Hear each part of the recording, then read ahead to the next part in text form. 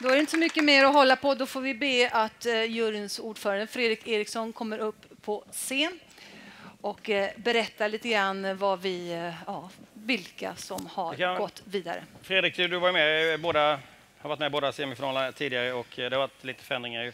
Ni har gett lite feedback till de tävlande.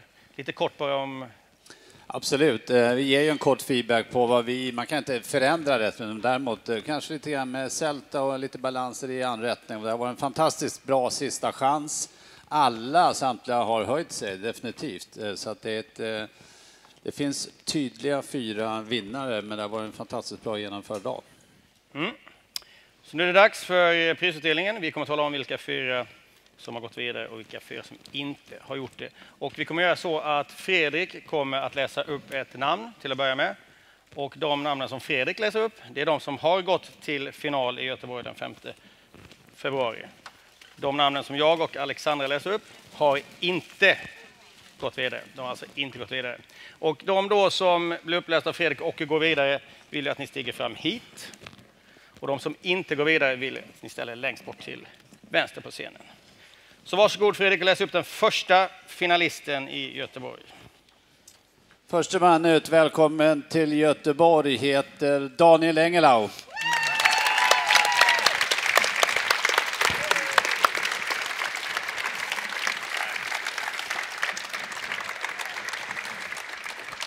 Sen som sagt, så tyvärr så finns det ju en vinnare och så finns det några som tyvärr inte har lyckats. Vi hoppas vi ser dem nästa år.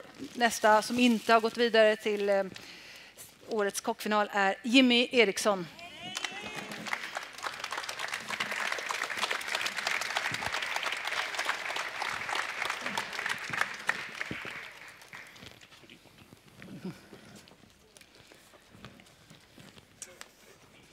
Då kör vi vidare. Nästa man ner till Göteborg heter Thomas Sjögren.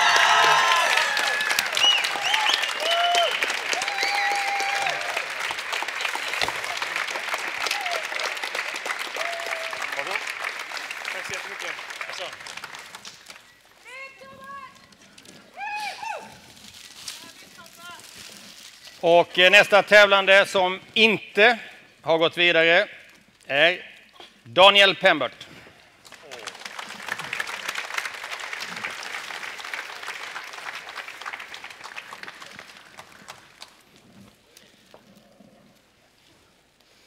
Välkommen till Göteborg säger vi till Saori Ichihara.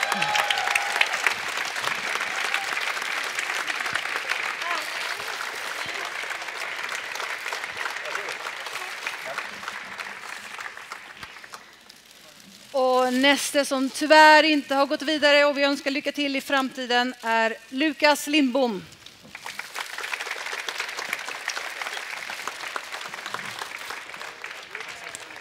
Kan vi får be er två komma lite framåt hit?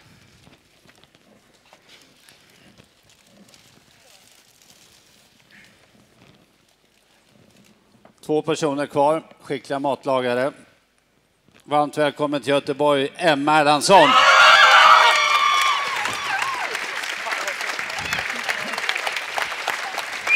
Och man då som inte har gått vidare till Göteborg, Anders Isaksson. Ja. Anders Isaksson.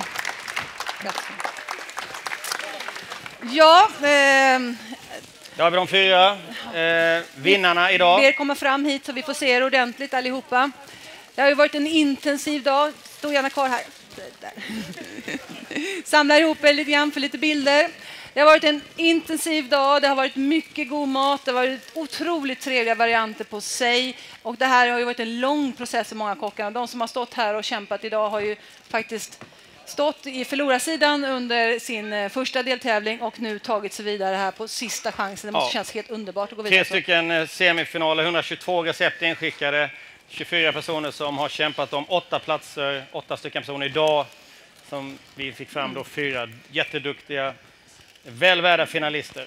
Eh, ett stort grattis till er och eh, vad man kan säga också vad de kan förvänta sig i Göteborg. Menar, den, femte, eh, den 5 februari 2015 så går ju årets kockfinal och då blir ju förutsättningarna lite annorlunda. Då ska de ju laga två rätter på fem och en halv timme. Man får, kommer få reda på råvarorna i förväg, den första råvaran. Den andra blir en råvarukorg. Och du som har gjort det, Anders, hur känns det att komma från det här steget till nästa steg? Ja, just nu är man ju väldigt glad och lycklig och rätt snart så inser man ju Allvaret i? Ja, verkligheten att är, man ska tävla igen och det är åtta jätteduktiga kockar som är i final och det är en jättestor jury på 24 jurymedlemmar och det ställs eh, ännu högre krav. Så att vi välkomnar alla som har vunnit här nu till Göteborg och alla ni som tittar. Ja. Tack så Välkomna mycket till för att ni kom Göteborg. hit. Tack för alla delar. Tack för restaurangskolorna. Och lycka till till alla och lycka till till er som har tävlat. Grattis. Grattis Emma.